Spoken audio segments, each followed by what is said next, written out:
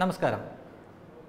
C N G കിറ്റുകൾ നിങ്ങളുടെ നിലവിലുള്ള പെട്രോൾ ഡീസൽ വാഹനങ്ങളിൽ ഫിറ്റ് ചെയ്യാൻ ഉദ്ദേശിക്കുന്നവർ ഇനി പറയുന്ന കാര്യങ്ങൾ ഓർത്തു വെക്കണം. ഒന്ന് എല്ലാ വാഹനങ്ങളും C N G kit fit ചെയ്യാൻ അനുയോജ്യമല്ല. അനുവദനീയമായ വാഹനങ്ങളുടെ ലിസ്റ്റ് നിങ്ങളുടെ അടുത്ത ആർ ടി ഒ ഓഫീസിൽ ലഭ്യമായിരിക്കും.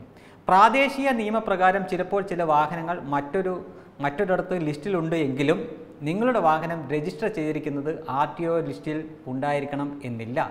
സർക്കാർ അംഗീകൃത കിറ്റുകൾ അംഗീകൃത ഏജന്റുമാരെ കൊണ്ട് ഫിറ്റ് ചെയ്യിക്കാൻ മാത്രം ശ്രദ്ധിക്കുക.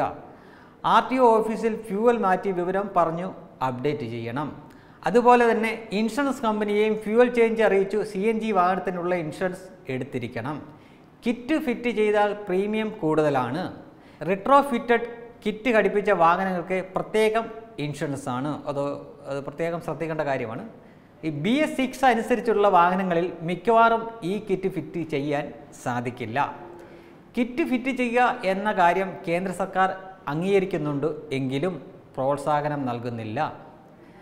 കിറ്റ് ഫിറ്റ് ചെയ്യുന്ന വാഹനങ്ങൾക്ക് തേയ്മാനം കൂടും. അതുപോലെ വണ്ടിയിൽ പണിയും കൂടും.